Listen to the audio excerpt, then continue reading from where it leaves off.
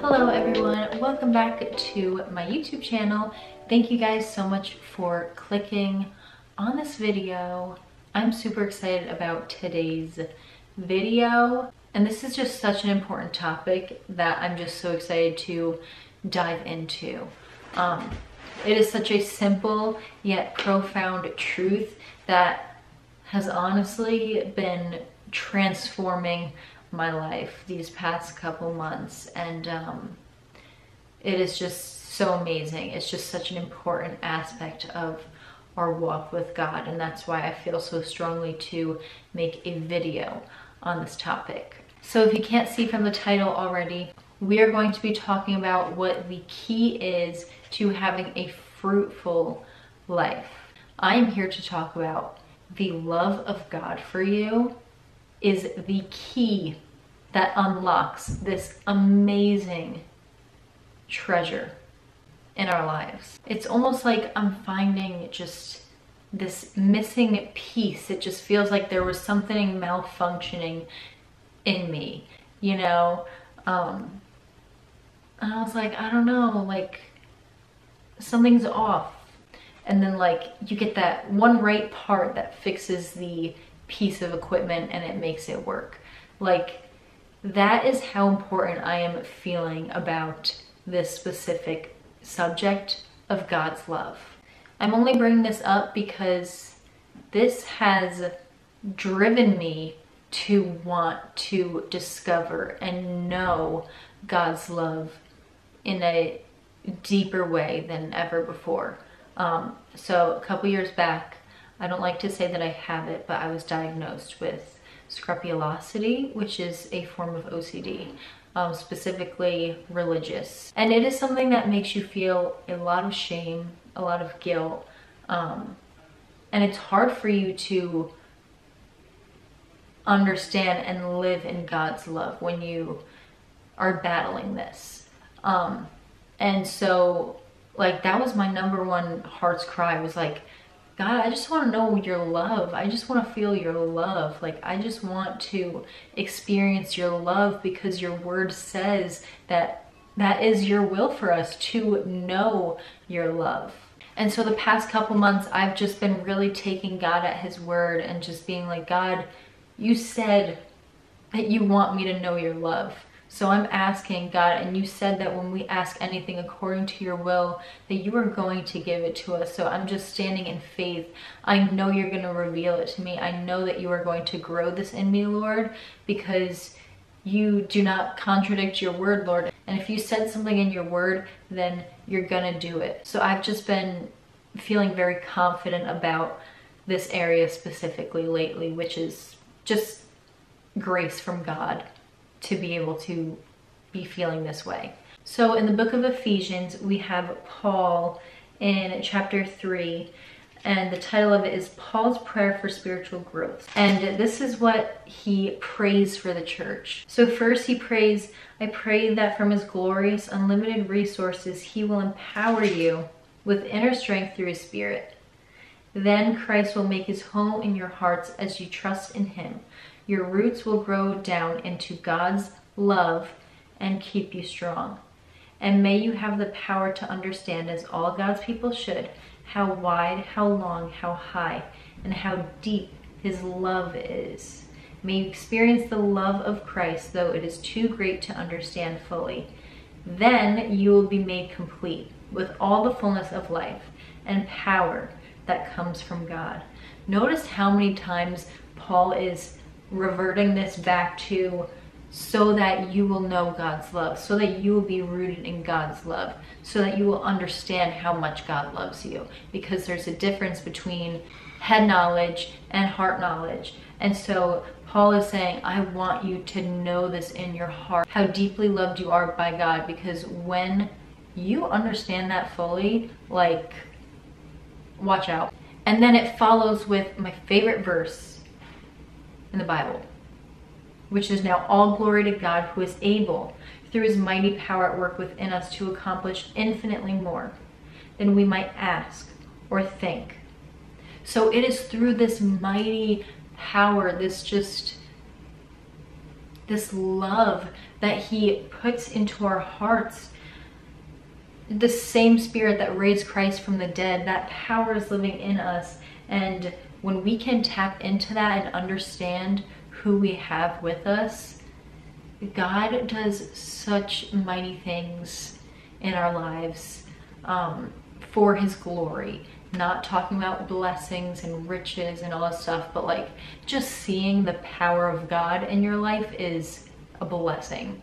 Um, so yeah, I just wanted to read that to you guys and just show you that it does say in the word that God does want us to be rooted and grounded in his love. This is a prayer that he literally had Paul write to pray over the church. So this is God's will. And it says, whatever you ask for according to God's will, it will be given to you. Um, and so I've just been really realizing and understanding how important it is to seek and seek and seek and knock and ask God for the revelation of his love for you because um, because he will give it to you. And when you understand God's love everything changes I also want to bring up a verse in First John that says there's no fear in love but perfect love casts out all fear. And then in the following verse, it says, For fear has to do with judgment. So basically, what it's saying is you are on God's side now. God loves you, God is not judging you. Like Jesus took our judgment on the cross. And I want to read Romans 8 31 through 34. It says, What shall we say about such wonderful things as these? If God is for us, who can ever be against us? Since he did not spare even his own son, but gave him up for us all, won't he also give us everything else? Who dares accuse us, whom God has chosen for his own? No one. For God himself has given us right standing with himself. Who then will condemn us? No one. For Christ Jesus died for us and was raised to life for us. And he is sitting in the place of honor at God's right hand pleading for us. Like, just let those verses sink in. There's also another verse that says, While we were sinners, Christ died for us. And this was maybe two years back. This was something that I was praying about in that season as well was like, God, I just want to know your love. Like, I want to know your love. I want to understand it. Um, like as much as I can, like I just want to grasp it. And I just remember asking God, I was like, God, I don't have children. Um, so I don't physically know what it would feel like to give up my child to be crucified. For people that were turning the other way from me and weren't even accepting me or wanting my help. Like, like I get that is a huge sacrifice, but I don't know what it feels like to have that deep of a connection with, you know, your offspring, your child. Like, I don't really understand what that feels like. Um, and so during that time, I was teaching in the preteen room, and I had connected with this young girl who is like my little sister that I never had. Um, I just adore her. I feel like I was just so like mama bear over her. I was like, no one better mess with my girl. Like, like we just had such a special bond and connection. Um, and I truly just felt like she was my long lost little sister. Um, and we're still friends now, but yeah, she's, she's just so precious. Um, but so after I prayed that prayer, I was like, you know, saying, I don't understand what it feels like. And then he immediately brought her to my mind. And I started crying. I was like, oh my gosh, that is so painful to even think about. Um, but that is how much you loved me, God. Like, what? What Jesus went through is more than any human could ever go through. Just the way that he was beaten literally to a pulp, like in front of in front of people cheering them on um, when he didn't do anything wrong. He had people mocking him, literally pushed a crown of thorns into his head. Um, they spit in his face. They flogged him, whipped him all the way up to the cross. And then at the cross, they put three big nails. And he was hung up on a cross in front of all his family and his friends um, while he was still being mocked. And he was also not clothed. Like, I know that I'm painting a very vivid picture, but just imagine the heartache. But Jesus looked at the cross. He looked at the circumstance that he knew was facing him. He even prayed before, Father, if you're willing, let this cup pass from me. But he said, Nevertheless, not my will, but your will be done. And so he went to the cross and he looked and he looked past the cross and he saw you and he said, You're worth it. God did not spare his son for our lives, but he gave him up. And so we need to earnestly pray that God would allow us to be able to understand with our hearts the depth of his love for us. Because since I've been getting this this deeper understanding, this deeper revelation of God's love, my life has been totally changed. And I've just been like spending so much more time with God because of how much I know that He loves me and like just wanting to sit and bask in that love. And then inevitably, when you spend time with God, you are going to bear fruit of the Holy Spirit. In John 15, chapter 4, Jesus says, Abide in me, and I in you. As the branch cannot bear fruit of itself unless it abides in the vine, neither can you unless you abide in me. I am. So Jesus is saying, the only way that you are going to have a fruitful life, to produce the fruits of the Spirit, to just basically to let others see Jesus through you is by abiding in him.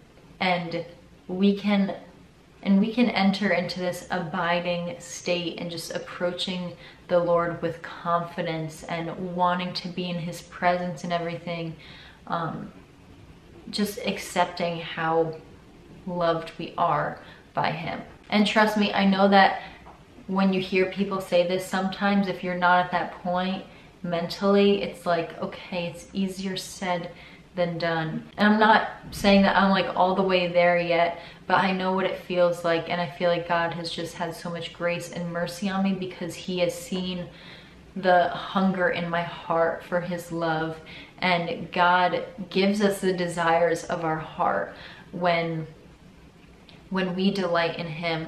So if you feel like you were in a place where you're just like I don't understand God's love and like if I understood God's love, like I just feel like my life would be so different. Like the way that I just lived and approached life and like um the way that I acted and like treated others, like I just feel like it would be so different. I just want to encourage you to keep seeking, keep knocking.